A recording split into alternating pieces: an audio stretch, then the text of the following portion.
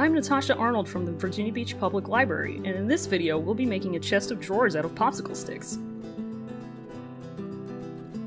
For this project, you'll need a whole bunch of 4.5 inch popsicle sticks, one 8 ounce bottle of wood glue, good craft scissors, a ruler and or an angle, sandpaper, a sanding block, or a sanding sponge, and just in case you want to use them, some cardstock templates, and a bowl of water.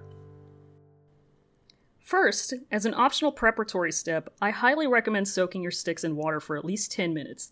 This makes them softer and easier to bend and cut later on. Grab a whole bunch of popsicle sticks. If any of them are noticeably bent or broken or have big knot holes in them, put them aside. We need sticks that are really straight.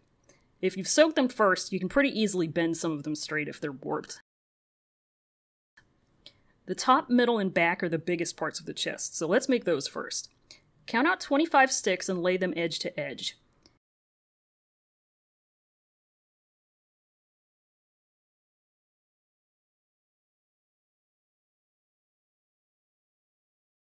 If you're using the templates or a ruler or an angle, you, these can help you keep them evenly aligned. For this next step, you need a few more sticks, but you can use some that are broken or a little bit warped if you'd like. Cover one side of each of these sticks with wood glue and lay them across your nice even sheet of sticks so that they run perpendicular to them. Do this until all 25 base sticks are evenly supported. And don't worry about how much glue you're going to get everywhere, we'll deal with that later.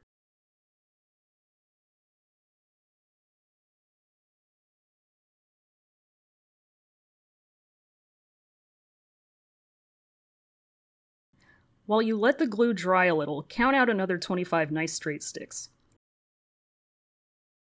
Put some wood glue on the support sticks.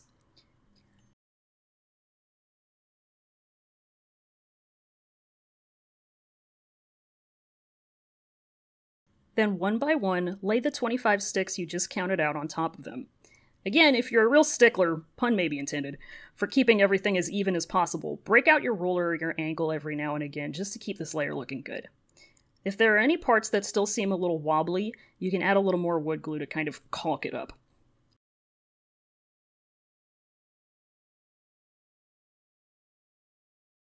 And let it dry. To make sure it adheres as securely and evenly as possible, I like putting it on a flat surface and weighing it down with a big heavy book. While that's drying, go ahead and make another one. The top, middle, and back have the same measurements, so it's just the same process two more times.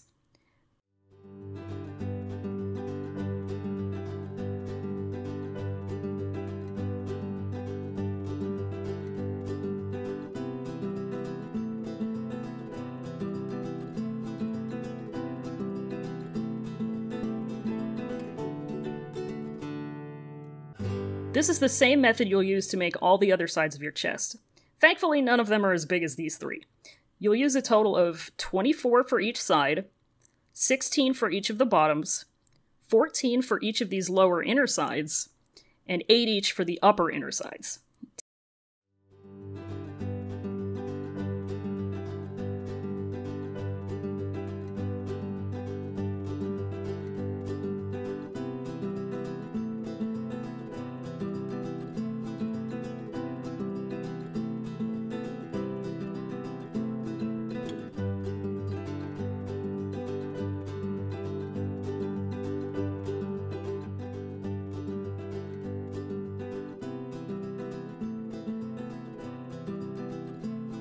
Make supports for the smaller sides, just use a pair of scissors to cut some sticks to fit.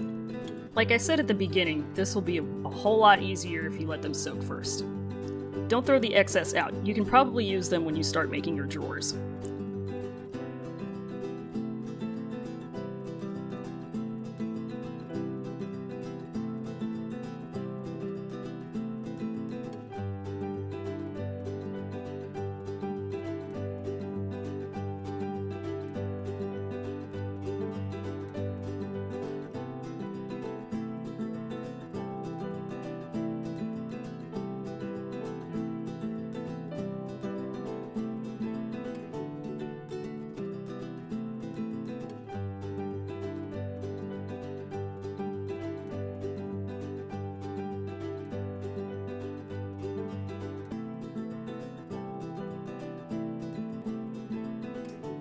So now that we have all our sides, let's put the whole thing together.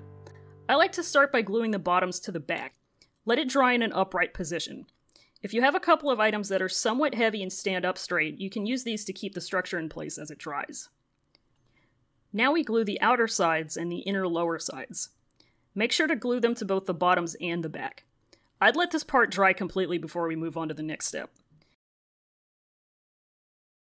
Because now we fit the middle into place. The middle's a little heavy, which is why you should let the sides get nice and dry before you add it.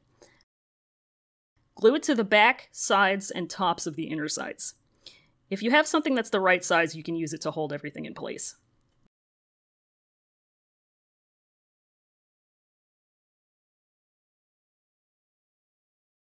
Now we'll add the inner upper sides and we'll let them dry too.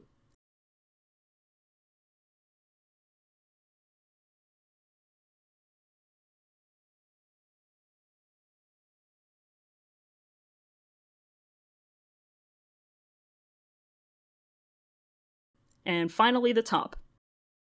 So while that dries, we can make our drawers. Each drawer is going to be made of five pieces, four walls and a floor. Each of these pieces is constructed similarly to the pieces that made up our chest, but with the supports exposed. The upper drawers will be square-shaped, while the lower drawers will be rectangular. The sticks are all going to need to be cut and trimmed down to size, so if you have any pieces left over from making your support sticks, you can probably use a lot of those in building your lower drawers. But let's make an upper drawer first. Count out a total of 25 sticks. Trim them all down to a length of 4 inches. Make sure you cut off the rounded edges. Now divide them into one group of 9 and four groups of 4.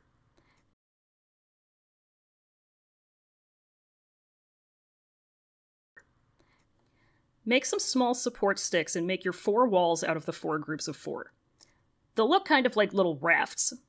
Be careful though, Make sure your support sticks are only just long enough to barely cross into the territory of one of the outermost sticks. You can add extra glue around the edges to give it more support, but this edge needs to be as clear as possible. The finished wall should look something like this.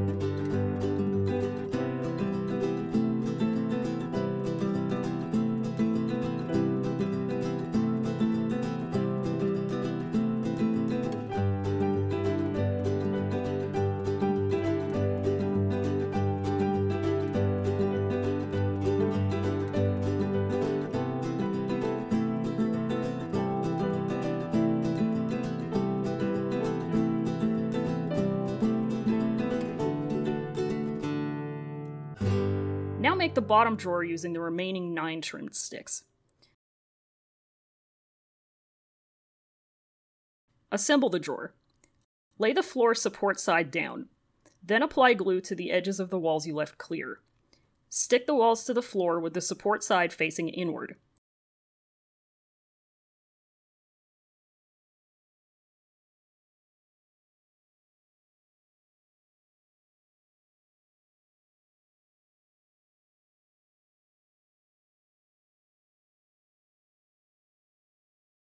That's one drawer done. Repeat that process for your second upper drawer. The bottom drawers follow the exact same steps, just using different measurements and a different number of sticks. Use 7 sticks cut down to 3 and 7 8 inches for the floor.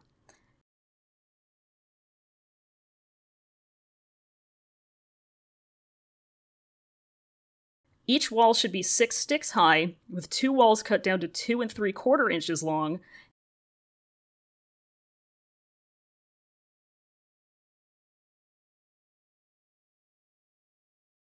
and the other two walls cut down to 4 inches.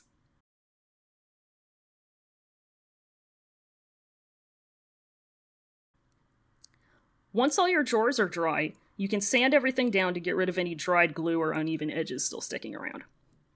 Now all you need is a way to be able to pull your drawers out.